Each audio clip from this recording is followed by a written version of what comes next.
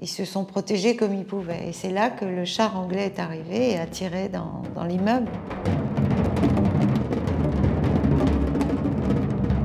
Alors il y a une femme à côté de lui qui a été décapitée et lui a reçu l'éclat de cet obus euh, qui lui a transpercé le visage. Un jour, il m'a dit, euh, en rigolant comme ça, euh, ouais, tu t'es jamais pris un rayon cosmique dans l'œil? Je voyais très bien à quoi il faisait référence. Euh, Moi, j'ai fait non. Ouais. En gros, ça fait de l'effet, quoi. Et je pense que il m'a dit, j'ai toujours essayé de rechercher le son que j'ai entendu quand la balle est entrée dans mon visage. C'est aussi une naissance, ça.